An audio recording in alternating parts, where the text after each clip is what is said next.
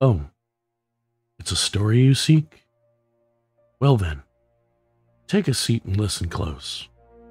For the tale I offer is one where past and present collide, where one man's decree causes a ripple in time that will soon become a tsunami, and a handful of unfortunate souls must sink or swim under the current it will leave behind. This is the tale of Krinir's folly and the ragtag bunch who must correct it before it's too late.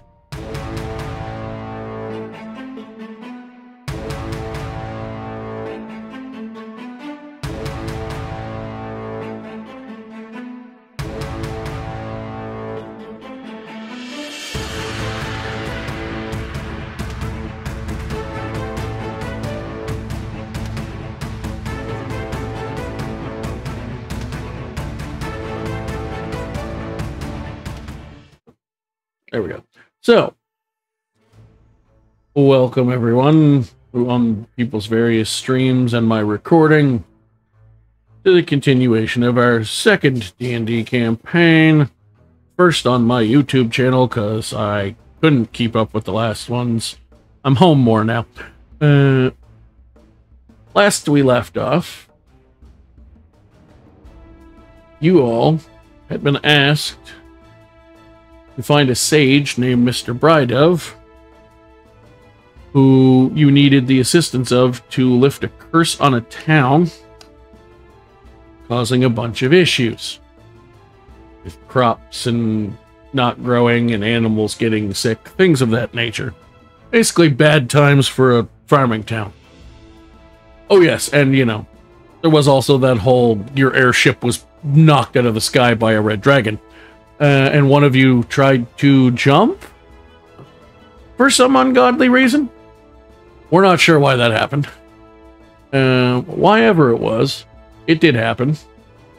And you were recovered by a familiar to most of the players behind the character's fa uh, face. And actually to all the characters because you started in the city where this person's most famous. A now more priestly uh, Leonide's Hairfoot uh, helped heal, I believe it was Luca's decimated in arm. Uh, then you figured out you needed to help with this other problem. You went to the the splen the splendor of knowledge, the quite frankly the candlekeep of this area uh, in my world, and got trapped in a extra dimensional plane. Um, no one ever wants to see a book again. And you eventually got out. Unfortunately, you discovered when you got out that uh, Mr. Brydove, who left ahead of you to go check in with his people after he'd been stuck in there for some time, not knowing how to get out, uh, was killed. Uh, Boo womp. which brings us to current issue at hand. Oh no. You no longer have a sage to help you uh, save this place. You also discovered that the home, the like the magical mansion in the wall you were stuck in, seemed to belong to some pretty high, pretty high level spellcasters.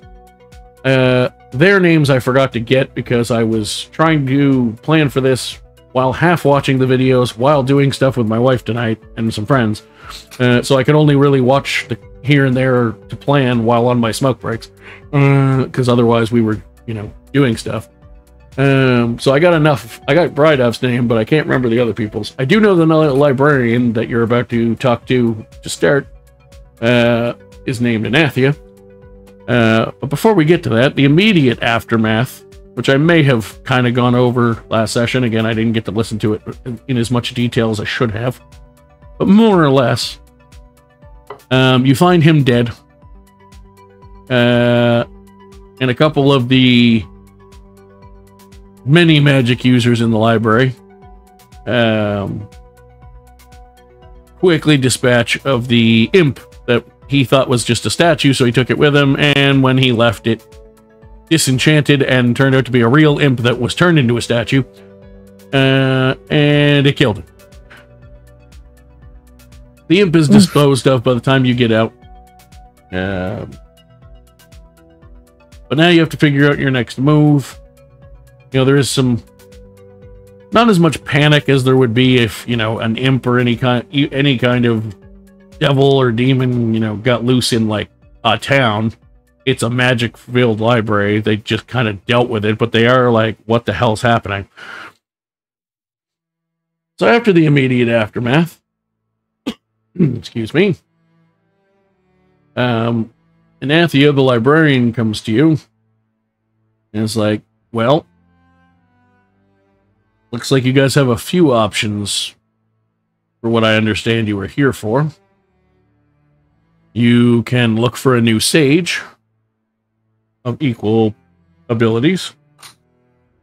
Uh, you could, depending what your abilities are, try to strengthen yourself enough to solve the problem, or try to figure out how to get enough money together to have him revived. Well, Does he deserve to be revived? I mean, he died really in a kind of dumb way. I mean, he You was, think dumb people deserve to die? Him? Could have happened to any of us. Well, maybe sometimes. It's a Yeah, cycle I mean, at least there life. wasn't us died. I mean, he He a died. lapse in judgment. And, I mean, he died from a sneak attack from something he didn't know wasn't a statue. Which is why Reynolds said he died from a lapse in judgment. Exactly. It's not every day that statues actually turn into people or things, as it were. Eh, But then usually the again, from where he got it from, maybe he should have known to be more careful. I mean, he didn't really go in. I mean, he was stuck You in a room behind the library. Anything. There are a lot of sages here with that kind of power. Do they just walk the streets? Can we go knock on someone's door and just find someone? Uh, you would have to travel a fair distance. of course. Dang it. fair distance. Can we fast forward? like a few days worth. Uh, probably. Yeah. Doesn't We it? skipped time.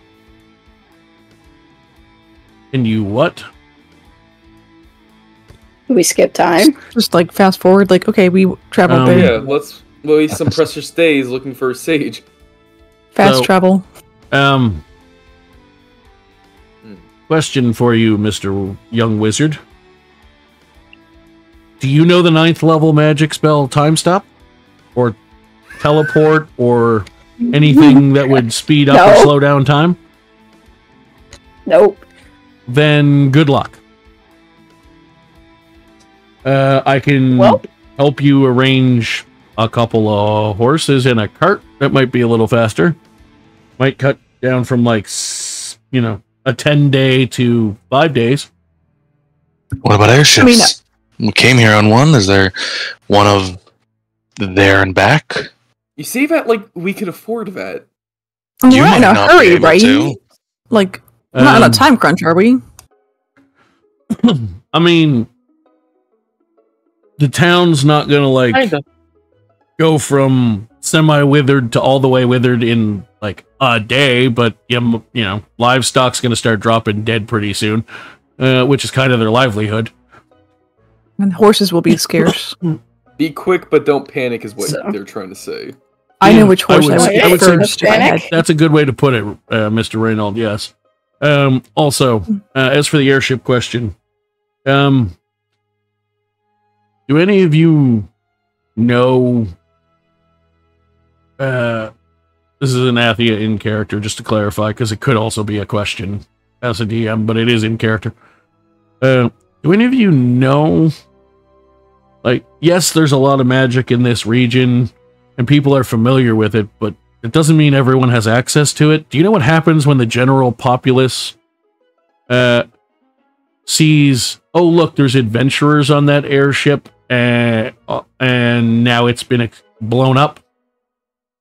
We shouldn't be letting adventurers on airships. Yeah, the rest of the captains are, you're going to have to earn your way back onto those, is what I'm saying. Oh, great. Oof. Oh, when did that happen? Um, you literally had your airship blown out of the air while you were getting here. I mean, it wasn't on purpose. No, you're a bad omen, is what I'm saying. Yeah. You're bad Okay, luck. Okay, that's God fair. dang. I am a black cat. So but that's how it good luck in some places. Like, yeah. It's it's pretty unrealistic that we could well, depending on what spells we could use to solve the issue on our own, I don't think it's very realistic for one of us to be able to train in time to solve that unless we could find a certain item that could cast such magic instead. Yeah. I feel like it would be the fastest route to just search for another sage, in my opinion. Does anyone else have any ideas? Yeah, I mean, I wasn't really back nice. to that guy yet. Before you even ask, by the way, Shirley, no, you cannot light anything on fire. You can't burn down the village. I totally wasn't going to do that yet. No, that sounds like something she would do already. I can smell I would- the pyromania off of I you. would Exhale strongly, strongly advise against that. I don't want to be Y'all need quit telling my secrets, banned. alright? So, all in favor of finding a sage and hoping that they don't bring an imp from another world this time. Say hmm, aye. Can be a can he be a fire mage sage? Ugh. We don't need another pyromancer on our team. If I cleaved your head That's from your coming from shoulders, you might be able to think a little better. This coming from Steve. What's wrong with fire mages? So rude. Whoa, we don't need you Nothing. burning down the entire village and getting banned. There's Nothing. nothing wrong with Just it. say. Mm, okay. And Athea's just like, there's nothing wrong with being a mage who prefers to use fire elements. The problem is you have to know when to use them. I never said I was gonna do it. Okay. That was Steve. The answer to save our village is not burn it down. yes, Steve. Gosh, so mean. I'm taking that as group consensus that we find another sage, though. Yeah, where are those horses Yeah. you were talking about? Those Um, those seem lovely. There is Y'all haven't one- eaten the horses yet? I feel it's only fair. I can get you the horses. Before you commit to a 10 day outside the city, which can be quite dangerous, and you are going to have to leave the city either way. Um, if you go about two days outside of the city and up a bit, uh, you may find either another sage or someone who can revive your sage. Well, that just seems even better. Just to give you all of your options. Now, including the mountain climb, it will probably still be about four to five days, but that's about the same speed it would be with horses to get from here to the next city anyway. And both are about equally dangerous. As long as you make sure you have climbing gear when you leave. Good point.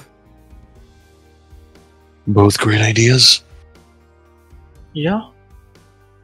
And we're sure that there's no other sages in this city, correct? Uh, I don't know. I don't really leave the library all that often.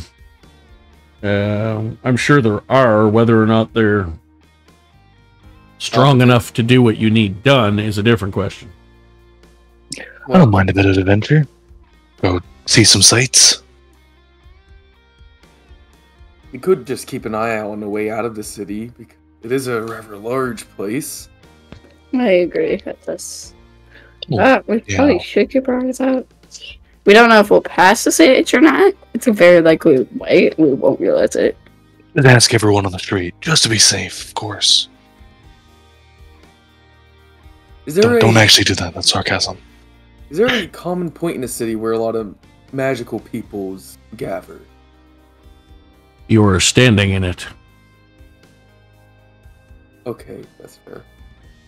That is that's actually fair. Well, This is the I mean, largest. walk. This is both physically and physically building wise because giants, uh, and also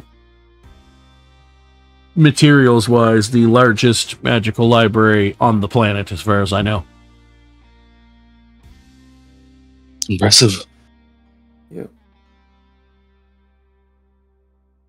Yes. Well, we could ask around here, or we could just book it and go to either upwards towards Sage or Cleric, or just to the next town.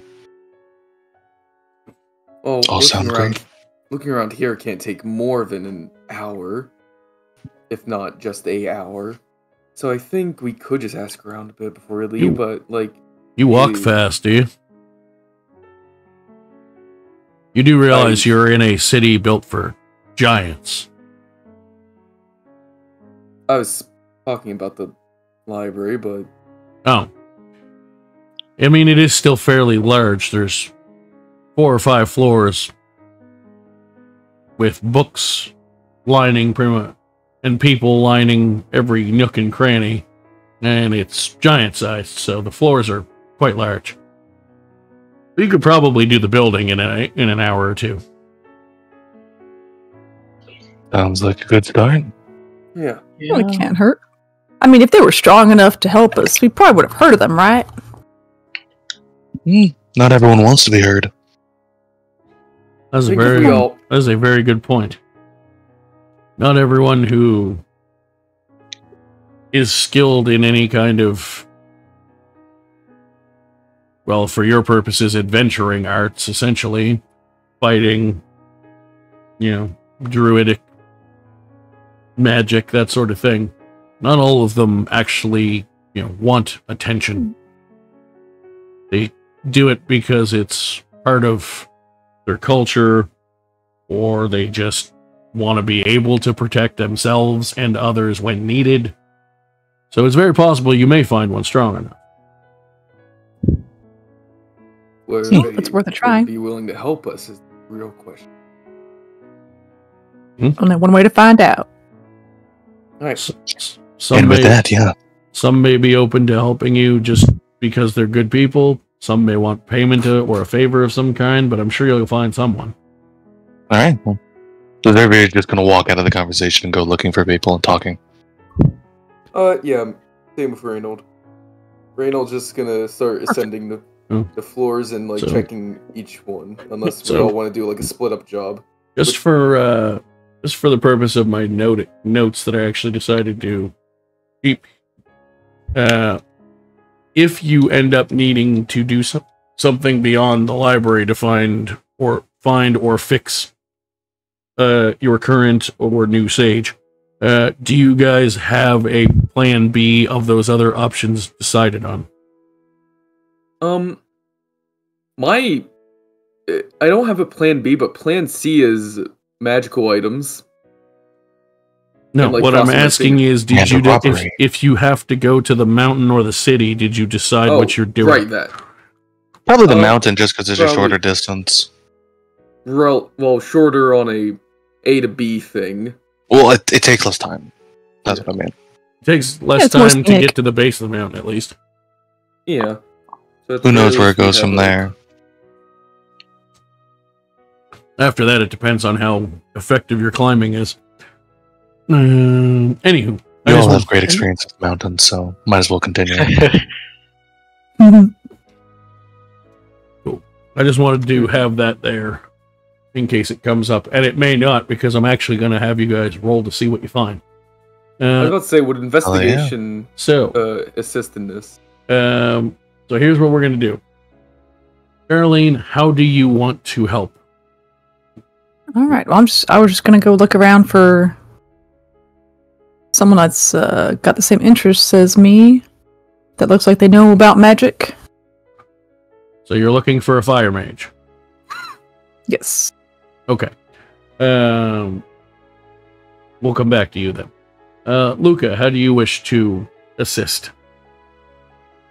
Um, Like, are you prob- like, for example, what I thought Char- Charlene might say, depending on which side of her character and abilities and just sort of role play and whatever she might go with, uh, she could have, even though Tabaxi aren't necessarily officially like at people in the sense of like certain advantages mechanically or whatever. Sometimes people will lean into the cat side of their cat person and be like, I'm gonna sniff for them. Uh, to like for a certain aura or something, you know. So like, what do you want to do as far as like, are you just Oh. gonna go up and talk to people? Do you want to use like a spell of some kind to try to detect a certain kind of magic? Like, what do you want to do? Like, do I smell smoke? Singed clothes? Um, I Can you just come back to me? Okay, Reynold, how what are you doing? I am going the uh not techn uh well how do I word it? Not technically play because I would be interrupting people, but yes, I'm going to be asking around on the various floors. Okay. Uh, Steve, you know how you would be assisting with trying to find someone who can help you? Uh, probably just the same as Reynold. Okay. Zarvir, what are you doing?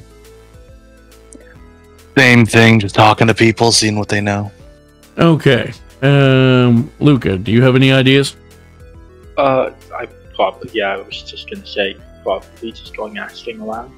Okay. Same as Uh, so Charlene, I'll come back to you because you speci- had a more specific thing you were looking for, and it also has nothing to do with what everybody else is looking for, um, which is completely fine. Uh, it just means I'm going to wait to come uh, to do yours. Um, so I'll just go in chat order then. Uh, Luca, roll me. Uh, are you are you going up to someone just mid conversation and butting in, or are you actually trying to find someone who's like finished the convert, like available to talk to? Luca would find somebody who's not talking. Okay. Uh, so in that case, uh, you find a probably late middle aged human fellow, probably about 50 to 60. Uh, looks like he's studying. You can see him looking up and around. He gives you a smile. Like he's, it doesn't seem like, it seems more like he's reading. Yes, he enjoys it clearly because he's in the world's largest library and he's probably in some into magic to a degree. But he seems like mostly he's just reading to pass the time, less so than like specifically engaged in it. It's just a thing to do to keep himself busy. So he seems open to you coming over.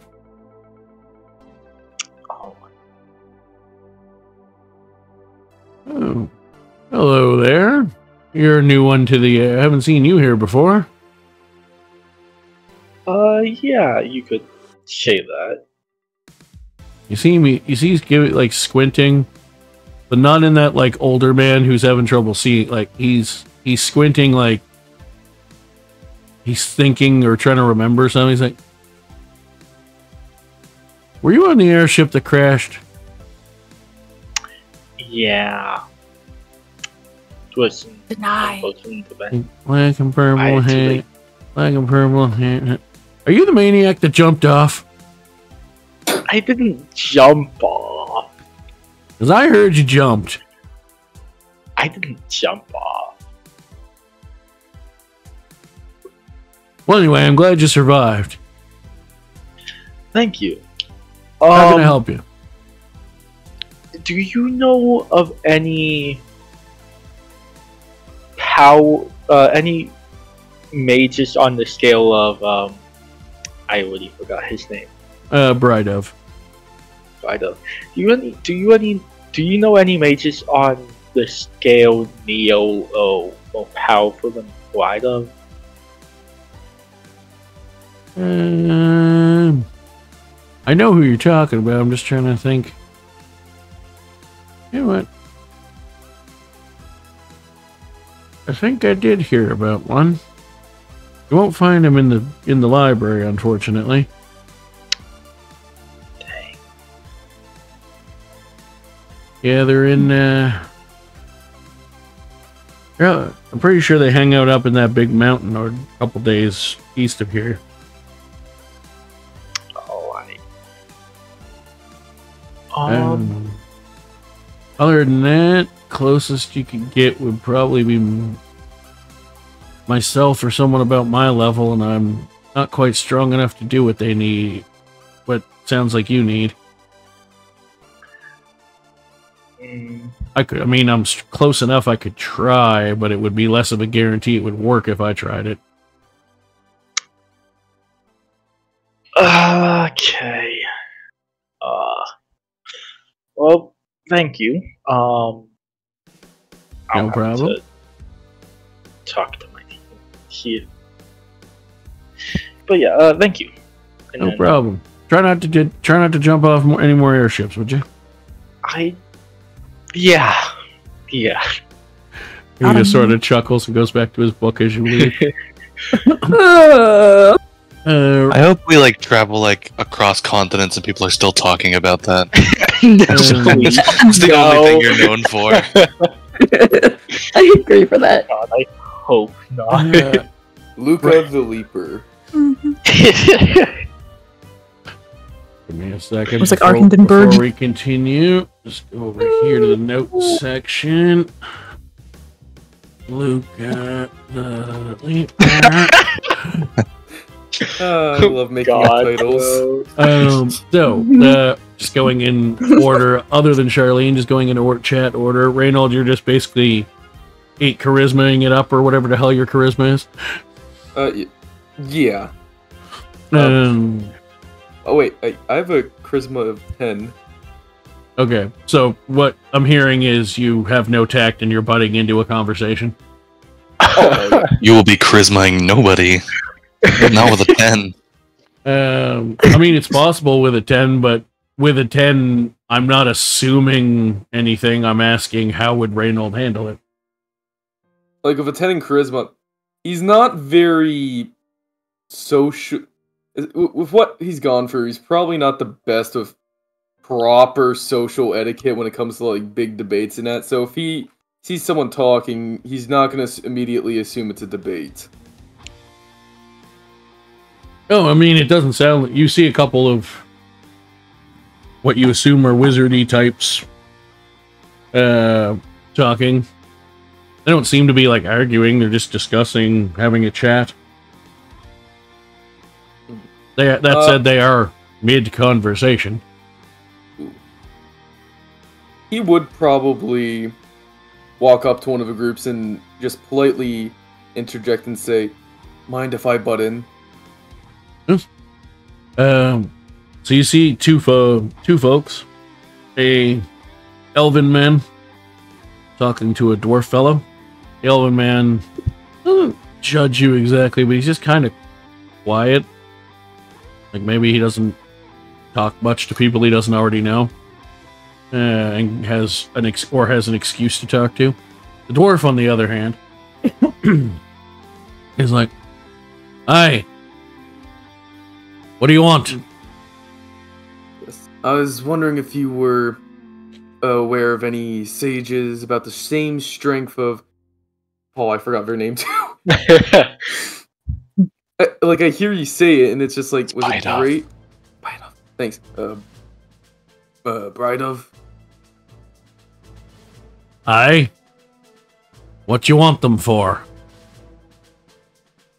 There is a village in need of magical, great need of magical services, and it only has a few days until it might reach some sort of dreadful end. Ah. Well then. You'll be wanting to head up that mountain over there. Great. I mean, you might find someone here, but if there if there's someone here that strong enough for that, I've never encountered them. I see. Thank you for your wisdom. No problem. Also, one more thing, Tin Man. Excuse me. Don't interrupt the adults next time.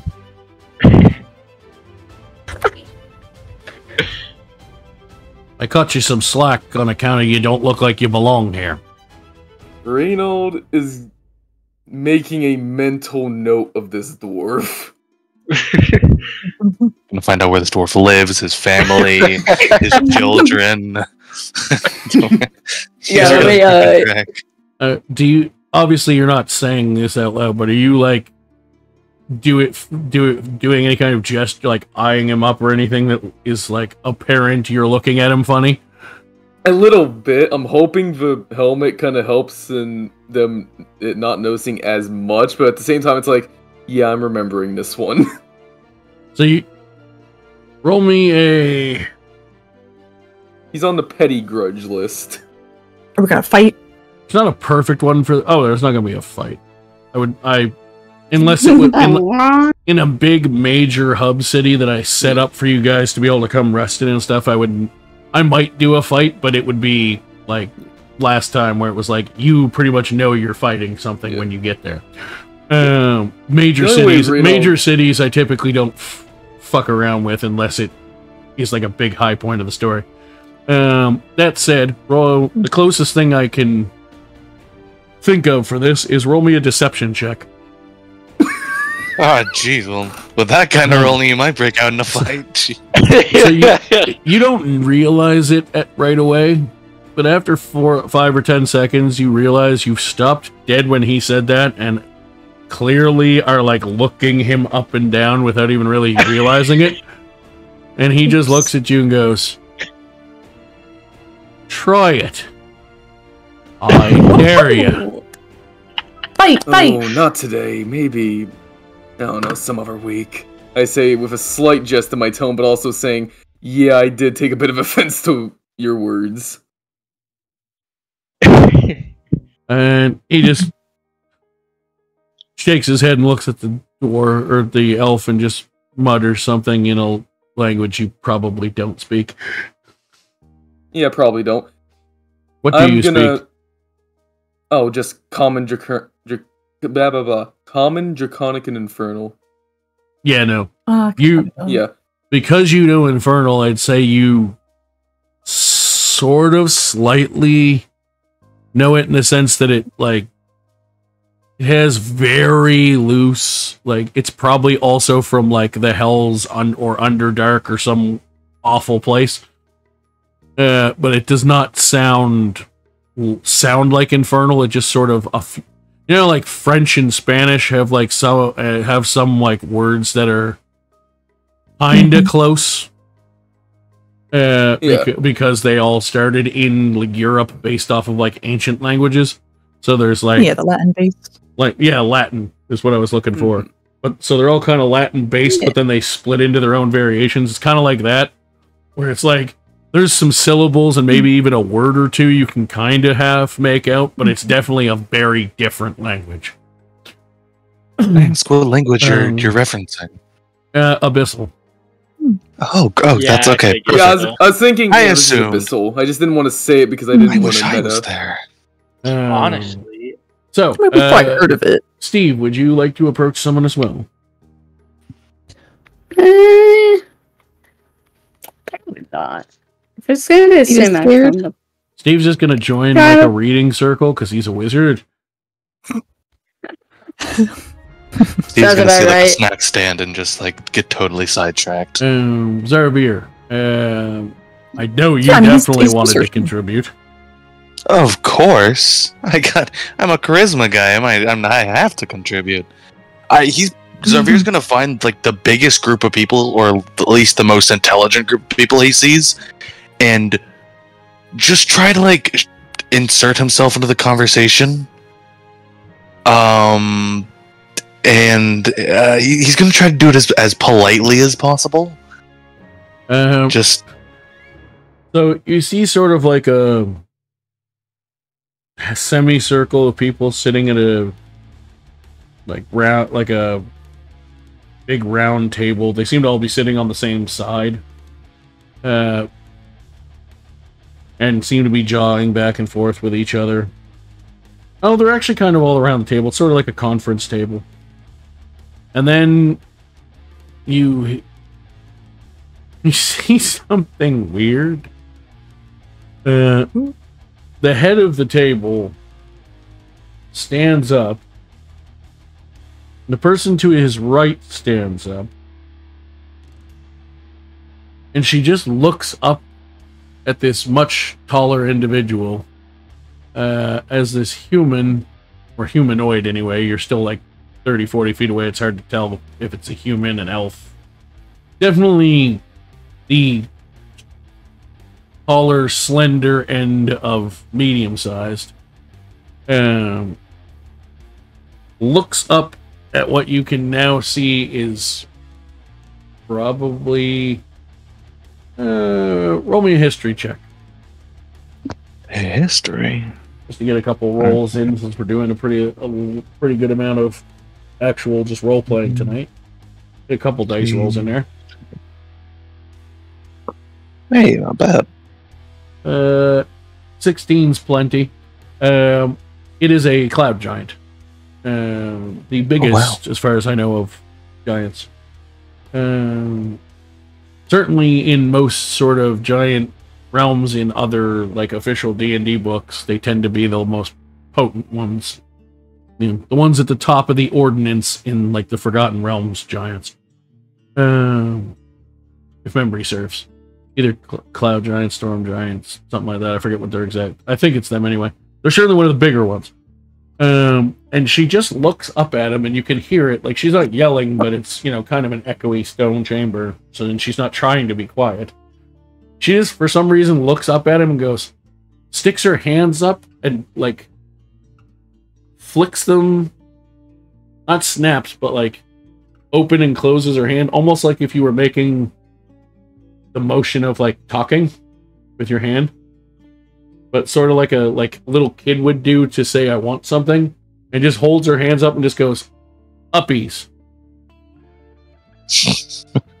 And he and the cloud giant sort of chuckles and just goes and just lets out a big uh okay.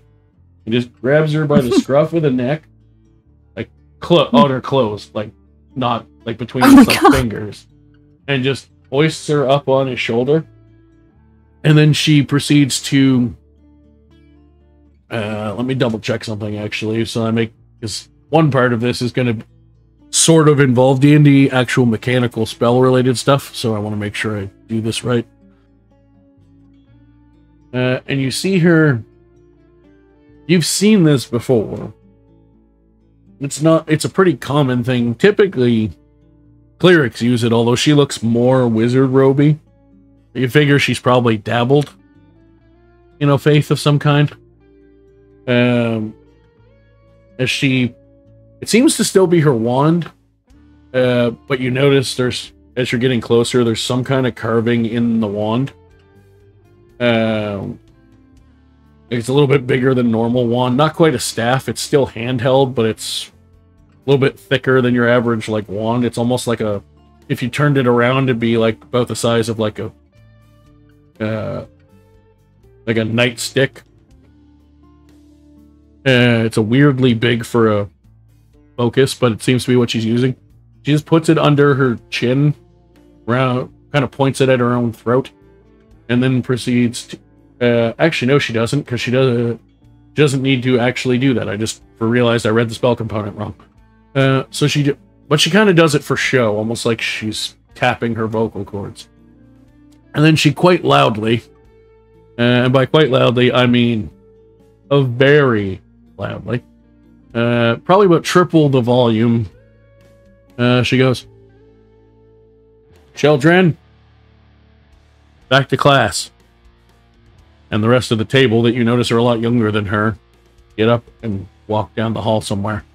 Seems there, while it's not a formal school exactly, that there is some sort of school like program in this giant library. Um, you get the sense she was drawing attention to herself to make sure they listened. and then she climbs down. Um, and the giant heads back with them to with the kids. And she sees you sort of approaching. She goes, Yes? Oh well, didn't know they had school programs here. Uh, yes, if you're gifted enough. Your uh, students are what, talented in the magical ways, I presume. Um, you could say that. Or talented in Hmm. many ways that are obviously magical. Some of them are. I don't know if magical is quite the right word, but special. Kids or something. But uh, I don't come to you for that. I'm more just on the lookabouts for someone with said such special magical abilities. Someone like our, our dead friend over there. I'm sure you heard the chaos that appeared from the screaming. Oh, yes, I helped deal with the imp problem. Yeah, the one who was on the unfortunate side of that. Uh, me and my uh, companions, uh, whatever they are, we, we needed him. Uh, we're looking for someone like him. Uh, well, you may find someone in the next city to the east, uh, depending on if they're home or not. If they're home, you'll find the same person at the top of the mountain to the east as well. No one local. Uh, not particularly. Hmm. They, uh, it's Oh. not that we don't have anyone strong enough to do what those kind of sages are doing. More so that they're dabbling into modifying things that the rest of us can do to a smaller scale to increase the scale they can do it at.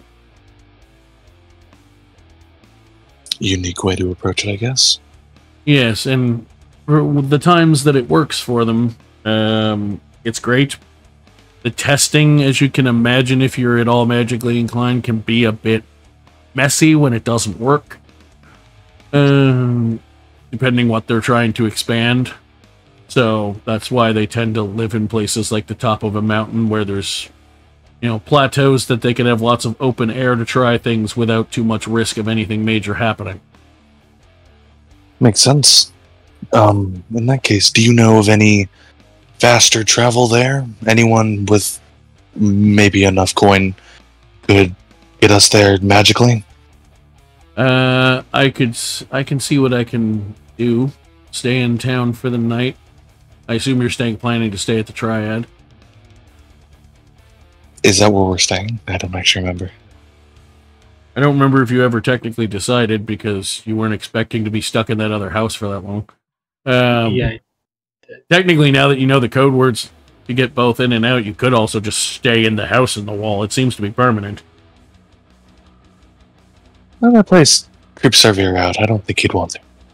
Uh, but otherwise, if you're looking to stay more on the physical plane, the Triad seems to be the main inn in town. There are some other smaller ones that have opened as more people of different sizes, giant and otherwise, moved in, but that's certainly the most famous one. Well, yes, yeah, that's where we'll be staying. I'm sure we'll be there in the morning if you, if you can find anything. Excellent. I will uh, come see you in the morning then. Um, one last thing. Hmm. Uh, this is a fairly magical city. Do any of you? I'm sure there's artifacts all over the place. Anyone know a way to track some of those artifacts if someone's looking for something? Possibly. What are you looking for? Um, that's that's that's an interesting. Hmm.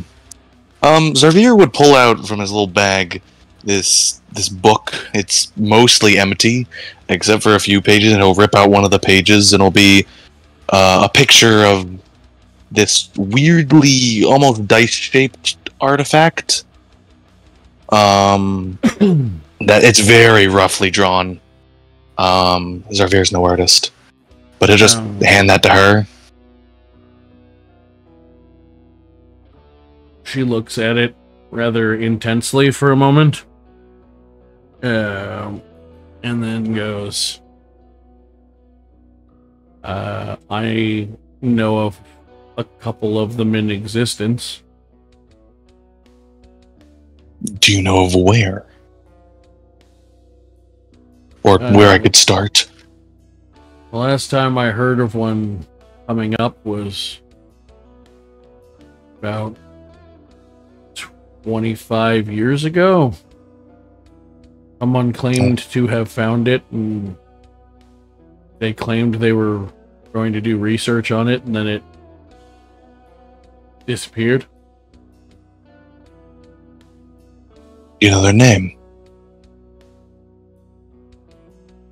Uh, you just sort of see her uh, when she says what she said about the research. you know she's talking about you. Gotcha. You were the last person, or at least your group was the last person known to have had one of these in their possession.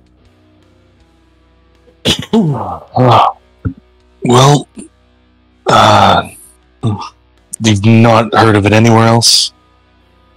I kn- I've heard that there might be more than one in existence. I have not heard of one in one or more of them since then. No. Well, thank you. I suppose if you hear anything, send for me. I suppose it's of it's the most important thing that I find that it's more important than most of us can imagine. It certainly seems to be very important to you. Yes. Yes, it has. With that, Sarver would very politely just walk away. Excellent. Um, she didn't give a name, neither did you in our talking. Well, we'll just assume by the yeah, they eventually did, so that you would have a way to find each other. Um, Yeah. I just sort of we were far enough into the conversation. I didn't bother doubling back for it. Charlene, I did not forget about you. You were looking for another fire wielder, yes? I think Charlene may have passed away. Oh yeah, I'm It was still a really tedious search. watching for them. Uh, give me a perception check. I put in the other He put in the wrong channel. It's Yeah, 18. it in. Um, 18. Uh, after about a m- two or three minutes of kind of sniffing and looking around, uh, your nose is pretty attuned, not even just your cat side, but literally just your pyromancer side. Uh, is pretty attuned to sniffing out flames. And you sense that there is someone. Uh, you find a big set of stairs that seem to go down multiple floors, and you figure somewhere down there is what you're looking for. All right, I'm gonna go. I'm going straight to it. So you're on about the fourth floor at this point. You go down all the way past the main floor, actually, and this is one of the sets of stairs that actually goes down to the basement. Um, or in a house-sized building, it would be a basement. It's an under uh, basement floor, basically. And uh, Hmm. sure enough, you see what looks like a big, pretty open area. It looks like this is probably where like students and other magic users try magic of a level that's safe to do indoors for the first time. A testing ground, as it were. And you see somebody who seems to be flinging uh, some small, uh, like hand fist sized bolts of fire at a target. Uh, and then you see him po- point his right hand uh, at over to his right side, about 50, 60 feet in this giant, like 200 foot wide space.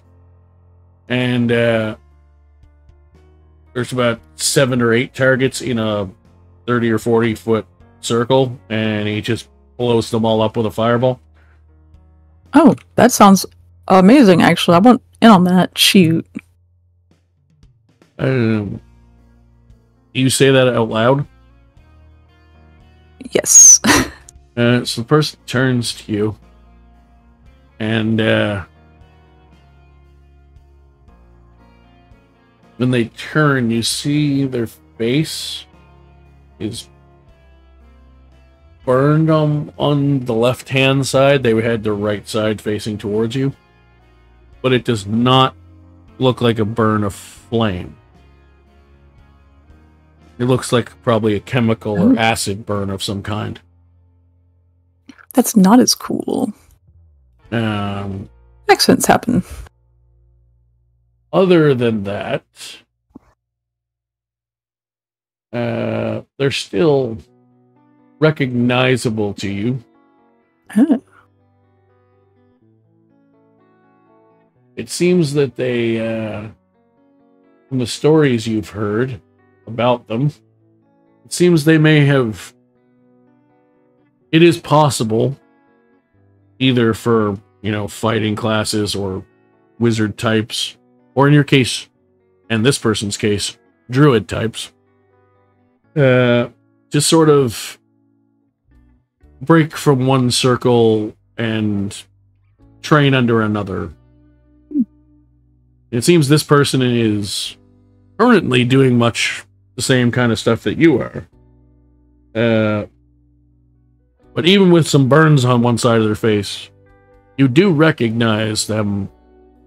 Uh, and you know that's not what they used to do. Uh, they used to be of a different circle. They seem to have taken the time to refocus their druidic abilities. Um, but aside from the burn on the left side half of the face, they look like this, or added to that. Hold on. yes. And they just sort of look over at you. They're like, "Hello." Oh, that's so cool. I've heard stories about you. I like your style. You see him pause for a second, and not like not so much at your at your words. Like yes, at your words, but not like Mhm. he's surprised to be recognized. I mean, he's not surprised. Um, he's it's almost like he thinks he recognizes you. He's just like, and you see him kind of shake it off. He's like, Ah, He's like, can't be. Um, hello, uh, I'm Robo. Pleased to meet you. Meowdy, how you doing? Uh, I'm feeling de- I'm ha- currently I'm feeling I'm having like I'm having a bit of deja vu. Some deja vu? Yes, you look an awful lot like someone that I used to see a lot. Oh yeah, there are some interesting uh, black cats around. I'm I'm I'm their biggest fan. So that would be Raina. yes, yes, it would. right? Yes, it would indeed. Uh, yeah. You don't give off the same kind of vibes, though. What is your name, dear? Oh, yeah. I'm Charlene. Uh, they call me Charlie for short. And uh, what brings you to this fine establishment? Ah, well, we're in a bit of a spot trouble. We're looking for uh, some some uh, strong mage friends that can help us out. There's danger coming, you know the usual. We got to be the good guys and save the day. The town, you I mean you've seen the town, right? I think You've I know which town. I I've heard of it. Yeah, they they've been they've been uh, sending out calls for help, and and it's been falling on deaf ears. They're uh, they're gonna lose their livelihoods faster than a sh- uh, two shakes of a lamb's tail. Did you say it's falling on deaf ears? No one's helping them. That's alarming. They're not going. They're not going to make it. That is very alarming indeed. I mean, it might be something to do with uh, people that accidentally burn things and aren't the most credible after we um, have been involved in certain uh, exploding airship accidents. No, it's it's more than more than that. Oh, okay, It's- good. I don't feel so bad now. It's troubling to me because I know someone who was supposed to have already gone and dealt with that. Oh, he's dead. Well, if he's dead, we're in a lot bigger trouble than I thought. I mean, it wasn't related. It was kind of a a freak accident. The place he'd like to stay was a bit dangerous, and he took a little uh, souvenir that happened to not be so inert, and that's what got him. One of those impish things. You know how it is. These things What are you talking about? Wasn't that uh, the guy that died? Our Bridev guy? Brydov is capable of that, but that's not who I was talking about. Uh, well, Charlene's confused. I was. I was. Hmm. I Don't like this. Give me 15 minutes to have a nap and look at my spell list. Wow, wait, is Robo... Wow, I swear I just heard Robo's voice. That's exactly what he would say. Fantastic. Wow. Uh, no, uh... like, this isn't normally something in my wheelhouse, but I do know someone whose wheelhouse it is, who is in town right now. Planning to meet up with them later anyway. We'll see if I can uh, get them to help help with this. Uh, for now, um, take this and allow us to keep in touch. And gnome shuffles over and plops a red stone in your hand. I'll call you when I have when I have everything in order. Probably be tomorrow morning. Oh, excellent. They're, my friends will be happy to hear about this. Um, in the meantime, can you do me a favor? But of course. You deliver this for me? He gives you a letter with an address written on it. That'll give me something to do. Excellent. I will see. I will. You will hear from me tomorrow. All right. Anything for the robo? Um, you. I mean, uh, I. I suppose you could actually open it, but do you want to at least see where you're delivering this thing? I guess I'd be better than wander around aimlessly. Uh, so the delivery address. Uh, I'm not going to bother spelling out the street address. It's not important. but you know the location that it's going to. You've been there already.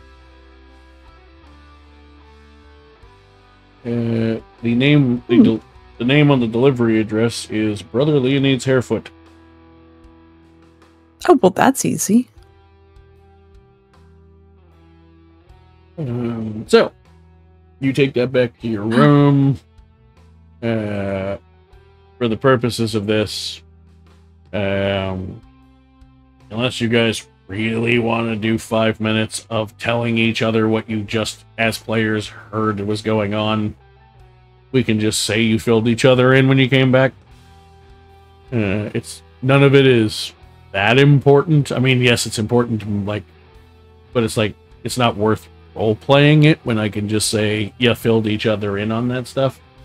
Because if you even want to pretend to be a team, you should be telling each other that stuff.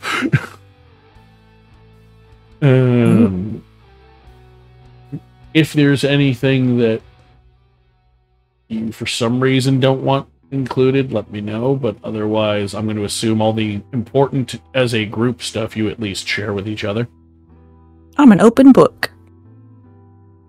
Like the stuff that you know to succeed as a team you should probably know is what i'm getting at.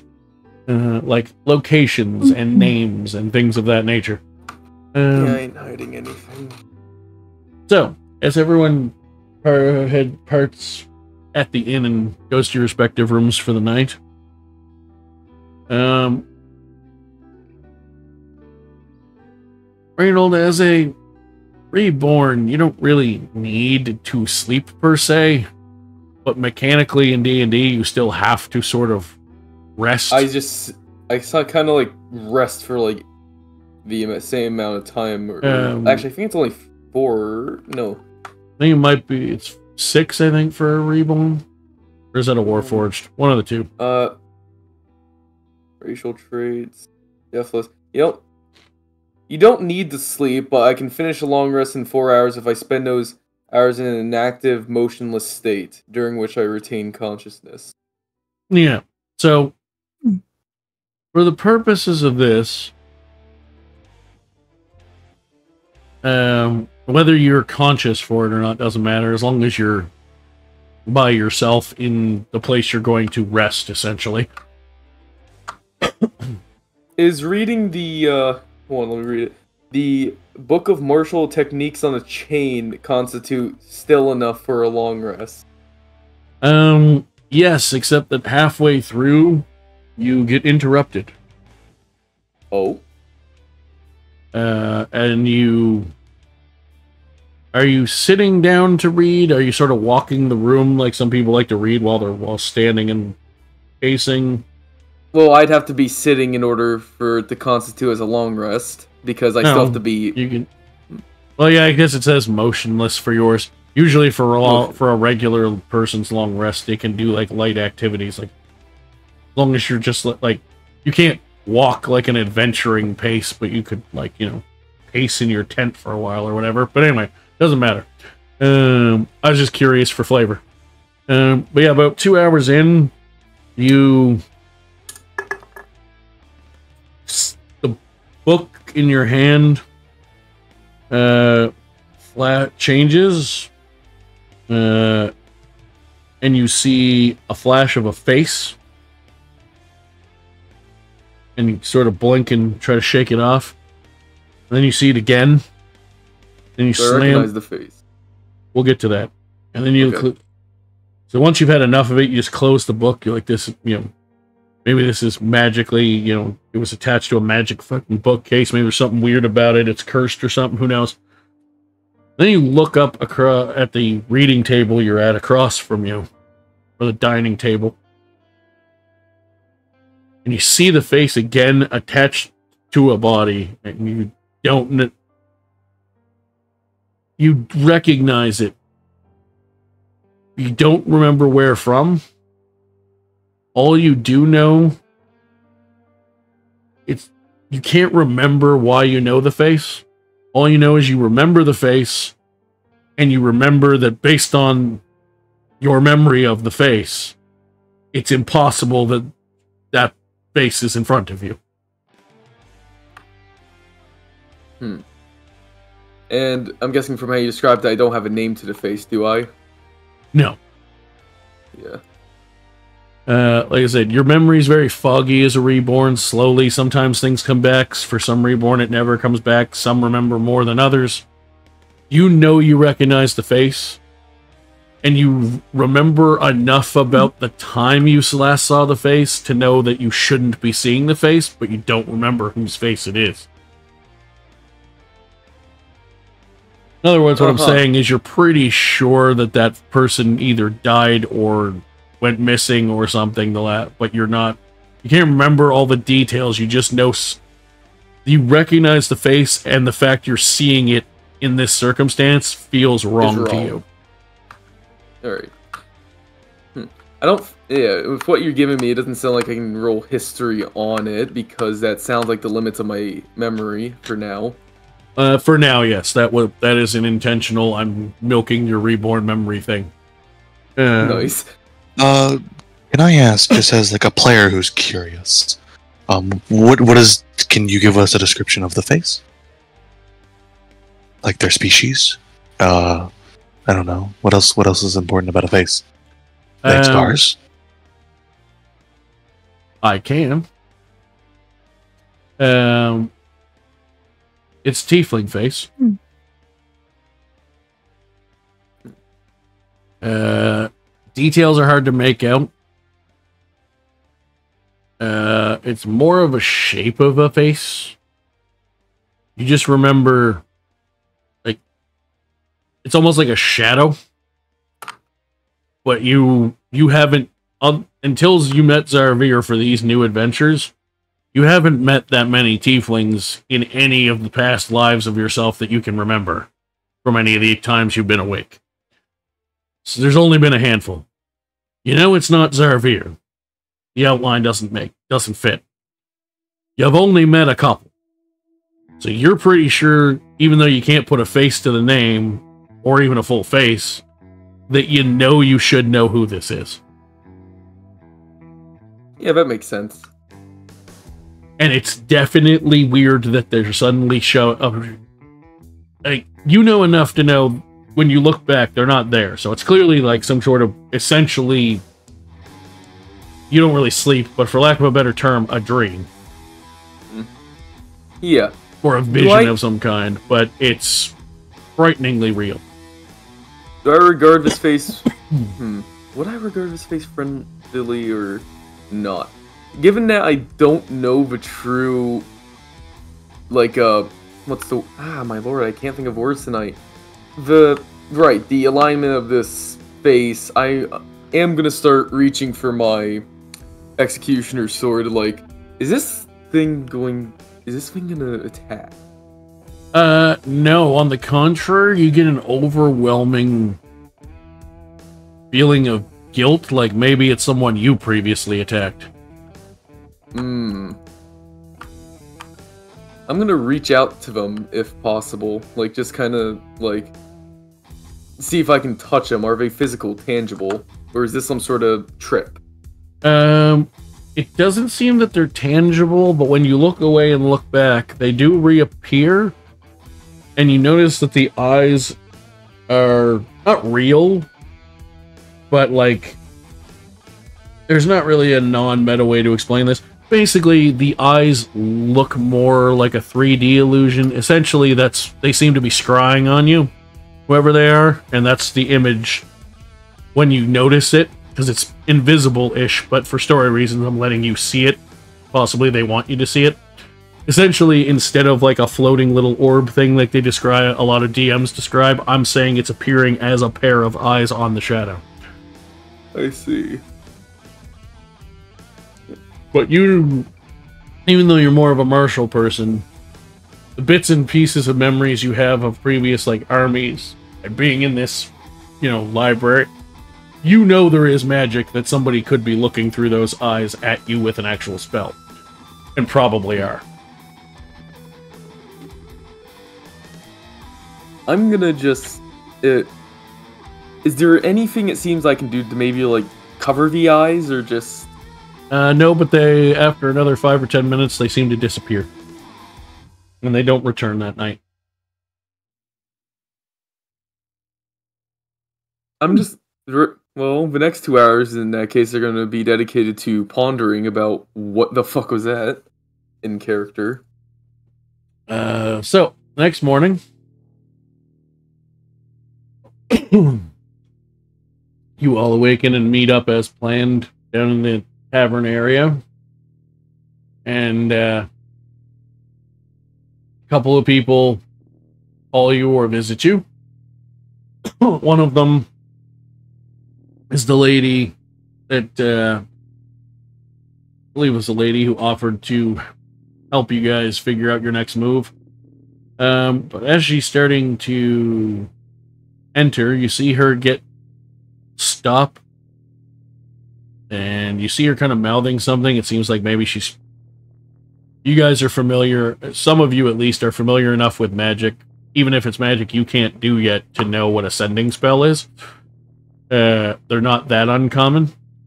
Um, you know, third level magic is not every wizard, not every Tom, Dick, and Harry that knows how to do a cantrip, a cantrip or first level spell gets that high, but they're common enough in a ma- heavily magical fantasy world. You know what a sending spell is. Uh, and you can see she stops like she's talk getting one of those and responding to it, and she actually turns and doesn't even come to see you.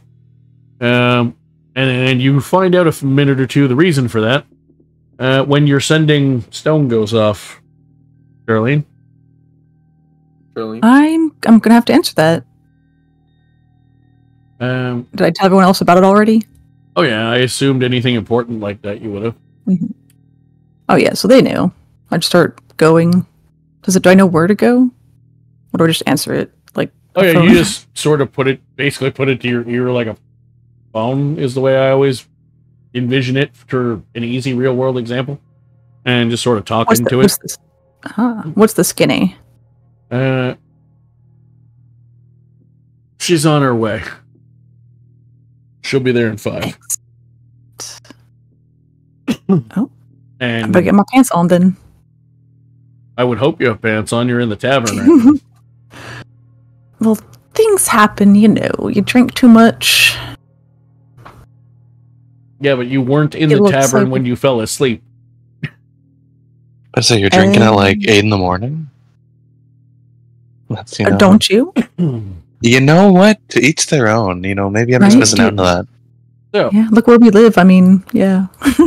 Um, a few minutes later, uh, Robos companion that they that he promised arrives. They look absolutely head to toe pristine.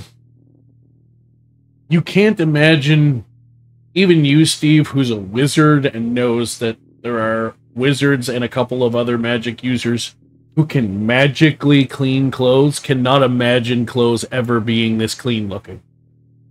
Wow. They are just, it's almost like there's an aura of like, you know, there's a like, that you, whether you know it or not, you know that wizards and a couple other arcane casters can do what's called prestidigitation, where you can just snap dirt off of things and magically basically make it look like new. This doesn't look like brand new clothes. It literally almost looks like there's a, some kind of aura of magic preventing pre-preventing the clothes getting dirty. It's weird. Um it's there is actually pretty much literally a just very faint sh- person shaped glow around them that you figure is how they look so pristine. I was gonna joke about that, saying like it's so pristine, it's literally like reflecting light into our eyes and blinding us. No, but they do seem to have a light gold aura around them. That uses oh too much. And also like in armor. Uh, yes, they are. As a matter of fact, That's Um, so weird. they are. Let me see what they are adorned in. Probably some like big chunky metal. I mean, clearly they're wearing like bright white robes as well, but. Hmm. Mm, Okay, they did. Uh, so yeah, they're wearing spectacularly shiny silver and gold uh, plate armor.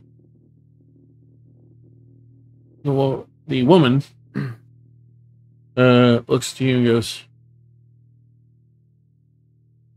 Are you Charlene? You got me. It seems I have found the right group then.